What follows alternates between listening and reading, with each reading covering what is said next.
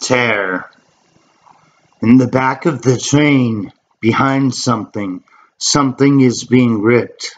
Like a metronome, it comes forward, the destruction of page after page. And it's only because we're aware of the shredder behind the meter tear do we want to know what what this unseen stranger's pages say and why it's so important they die in this place.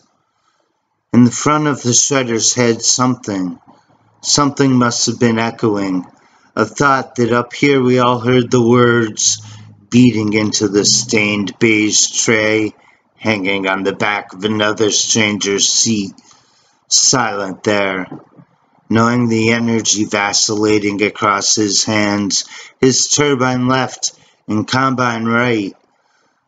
There's a new pulse in the car, a push between a heavy collected hush and the brutal beat of a strange tear, spark, tear.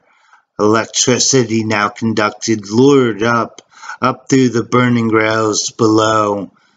In the back of the train, behind something, something is pulsing with its sudden rhythm.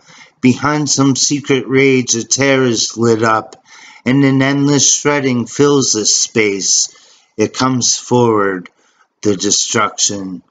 Something hot, beating on the front, the front of the shredder's head, takes over his hands, begins to destroy, and leaves us all silent, mesmerized by this beating.